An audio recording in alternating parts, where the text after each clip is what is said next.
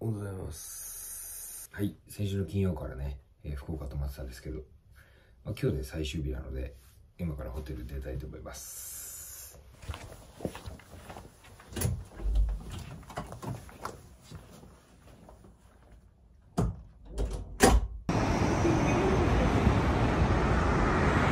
この6松までのボールに対してあの後寝ちゃったのかな足が臭いですおはようございます。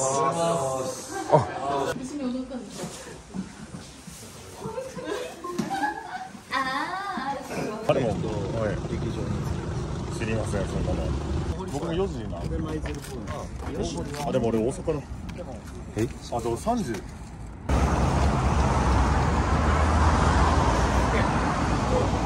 お すごい、これがかの有名な大堀公園、初めて来ました。あれはす、あそこで今度が、まだ、ここが。明日休みだから4連休取ってるのかもしれないですね。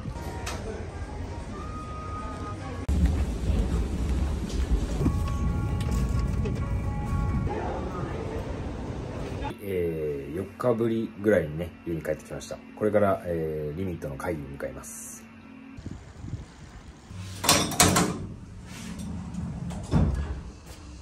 ザース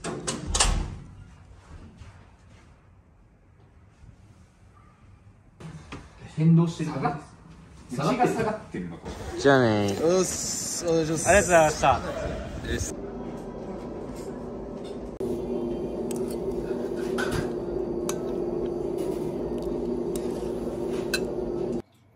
はい、もう今日は完全にやりきりました。寝ます。おはようございます。シザー。おはようございます。届きました。椅子です。はい。開けてみて。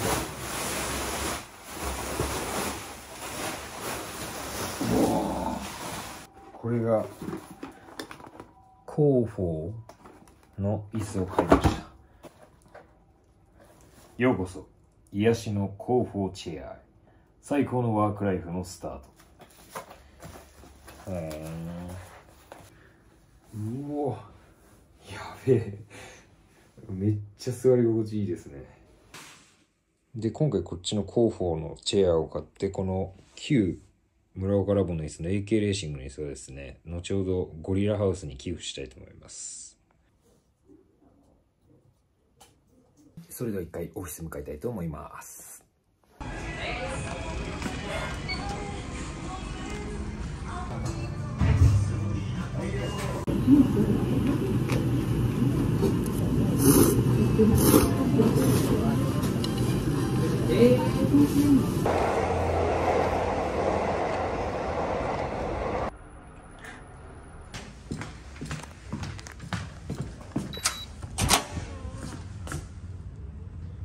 ザースこんにちは。さよなら。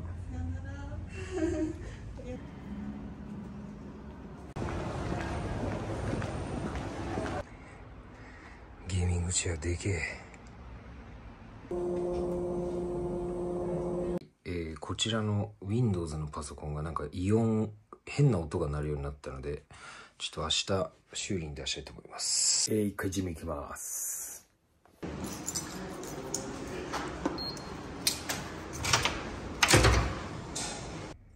シーザー。おやすみな。ございます。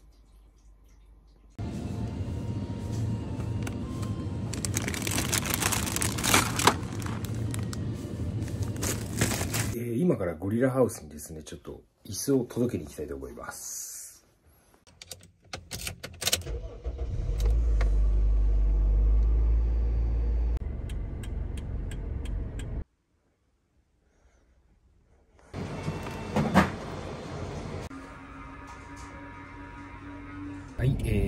今今ねパソコン修理出し終わったんでこれからゴール B のあの元ジムがあったところに荷物をちょっと取りに行きたいと思います。膝？膝？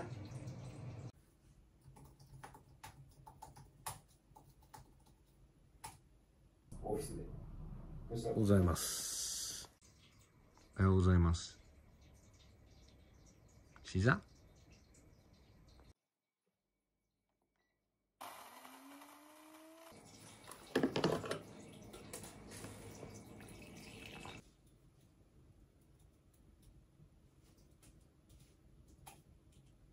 おはよ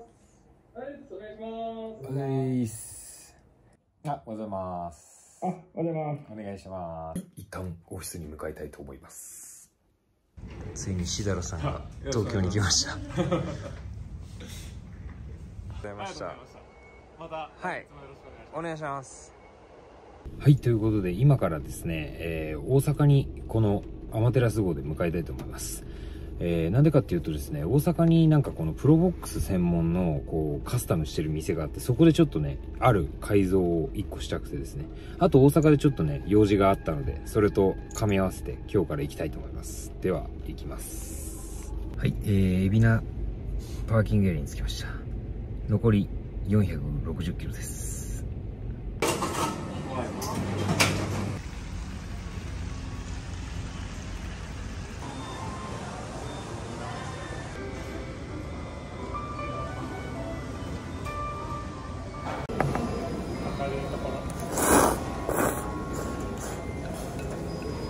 浜松に着きました。なんと残り265キロということで今半分です。頑張ります。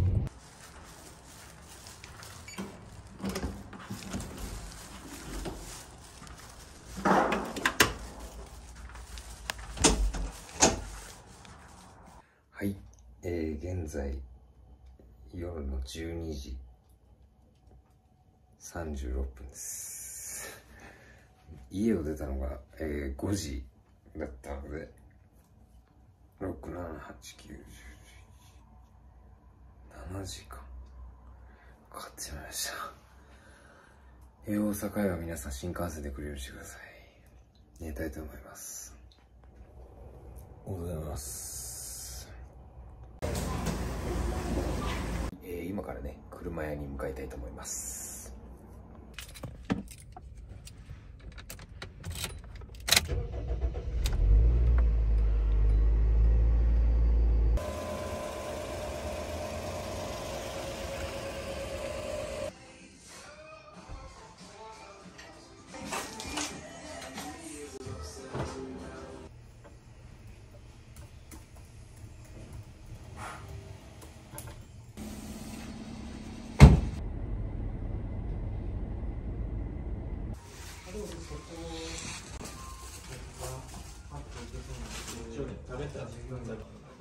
秋代さんのお宅に来ております。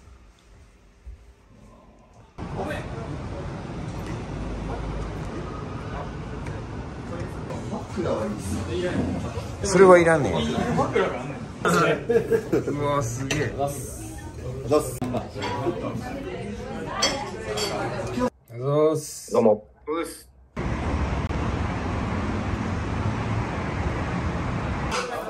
なんだっけ？じ時事時事ネタ侍だっけ？時事ネタ侍。じゃなくて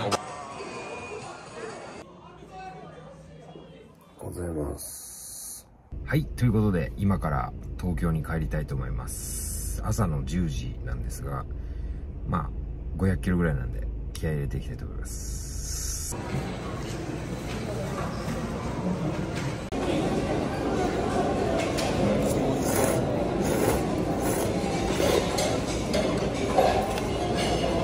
ことで、えー、結局7時間ぐらいかけてですね、まあ昼ご飯で休憩したりしたんですけど、7時間ぐらいかけて、なんとか東京にたどり着きました。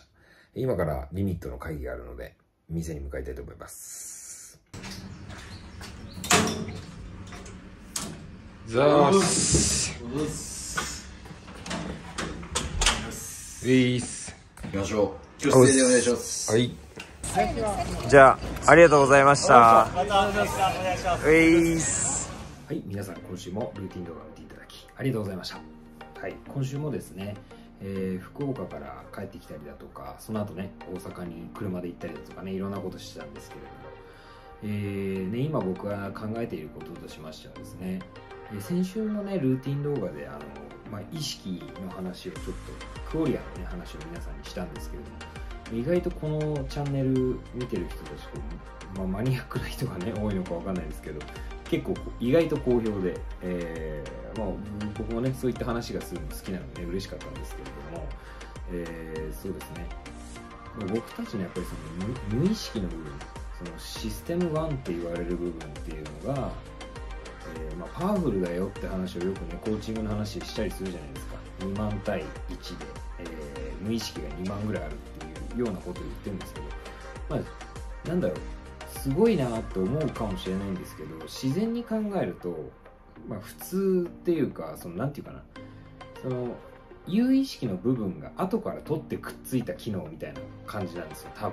まあこれすみません僕の思いっきり持論まあいろんなものを読んだりしての僕の今の時点の考えなんですけどもうそのいろんな考えとかいろんなものを読んだり見たりっ聞いたりする能力があって考えたり意思決定したりするのが細かくいろんなのが授かっていって最後にちょんってついたのが有意識みたいな感じのイメージだと思うのでもともとその後からついたシステム1っていうか後からついたその有意識システム2の部分ですね。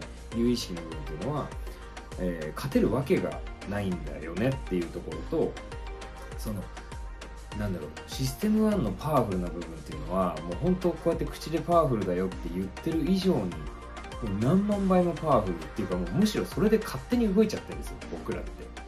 だから考えて動いてるわけじゃないってことなんですよ。僕らが頭で考えて動いてんじゃなくてえっと動いちゃってるんですよもう勝手に。無意識無意識でシステム1で。でほぼ動いていてそれを後から自分の意思でそうしたって思ってるだけなんですよ。これ多分納得するのによくわかんないと思うんですよね最初は。でこの納得するのによくなんか理解したくしたくないみたいな感覚だったりそのなんていうんですかね。そう事実がそうであったとしてもですよ。世の中の事実断りがこうだという事実があったとしても、えっと、人間ってストーリーが好きなんで無意識っていうのは。なのでこの人は悪い人だったから、えー例えばどこかで犯罪をして捕まった。この人はクラスで悪いことばかりしていたのでみんなからいじめられた。みたいな。そのこの人はこうだったからこうなった。みたいなものがストーリー立てているとすごく受け入れやすいんですシステム1的に無意識的に理解しやすい。んですそういうものは受け入れやすいんですけど、えー例えば事実としてこうなっちゃってんですよねっていうことを言ってもなんか事実としてはそうなんだろうけどなんか腹に落ちないというか腑に落ちないというか受け入れられない。特に世の中の人たちに対していやこれはこうなんだよってことが受け入れられなかったりするわけですね。なのでそこがえっと差が生まれる部分でもあると思っててちょっと今日話まとまるかわかんないんですけれども、えーだ今後の時代においてですよその自分の頭で考えるっていうのがすごく大事なわけじゃないですか。僕ね反対とか賛成とかの議論を今するつもりないんですけど例えばワクチンのことがあったとするじゃないですか。コロナのワクチンがあったとして、えっと、国は打ってください。とか WHO は打ってくださいって言ったとして、えっと、その通り、えっと、国が打てと言ったから打ってる人もいるだろうし自分でデータを調べてえー打った方がいいなと思って打った人もいるだろうし自分で判断して打たなかった人もいるだろうしただ面倒くさくて打たなかった人もいるだろうしでいるわけなんですけどここで大事なのは打てと言われたからそのまま頭で考えずに打っているっていうこととかも、えっと、無意識に従っちゃってるってことだと思うんですよね。そこに関しても。まあみんな無意識に従った結果ではあるんですけど。なのでえっと、自分は例えば先生から上司から国から言われたことに対してそのままをやる人、えっと、そのままをやるっていうのをが無意識的に働いてそれをいつもやっている人と、えっと、そうやって言われた時に無意識的にいつも考えて自分で答えを出してる人とっていうのがいると思うんですよ。なのでえっと僕はやっぱり誰に言われてもそれ意味あんのかなとか考えちゃう癖があるんですね。絶対に。なので自分で選んでる。だからもう不本意だったとしても自分で結局それを選ばざるを得ないパワーしかなかった。から選選んでしまったっていうことで自分のせいなんですけどその部分も、えっと、結局全部無意識がやってることなのでもしこの話を聞いてあ俺いつも無意識的に言うことを聞いちゃう人だなとかっていう人は、えっと、少しずつ何でもいいです。トレーニングとしては今日の夕飯何を食うかを自分で決めているという感覚を一つずつ夕飯はこれを食うこれとこれがあるけど俺はこれを食っているんだ。これを食っているんだってことなんか自分で決めているのをトレーニングみたいに毎回毎回全部のことをこうちっちゃいことを決めていくんですね。決めていると認識するってことですね。まあこれもう決めちゃってるのは実は無意識がね。なので自分の意思でこれをやったんだこれをやったんだなぜならこうだからなぜならこうだからってこれ実は後付けなんですけどそれでいいです。それで何事も全部自分で考えて決めていってください。そうするとだんだん自分の頭で考えているような感じがっていうか考えているというふうな認識にはなるんですけど考えてることになるのでそういうふうに生きていくと、えー、だんだん無意識も変わってくるってことです。本当の意味で考えるようになってくるし少しずつ変わってくるんじゃないかなと。僕自身はそういう経験があったので、えー、このね無意識というこの無意識と意識の有意識のねシステムのしか持ってないので僕らのお店ね。それを使って生きていくんですけれどもそれをどういうふうに自分で活用していくかっていうところがポイントだと思うので、えー、ぜひねこういったあ意識でねやってみるといいかなと思います。はい。ということで皆さん今週はどんな1週間だったでしょうか？はい。見ていただいてね、今週もありがとうございました。もしね、ちょっと面白いなと思った方は、ぜひ高評価、えー、チャンネル登録していただけると嬉しいでございます。ということで、また次の動画でお会いしましょう。目覚めろ、日本人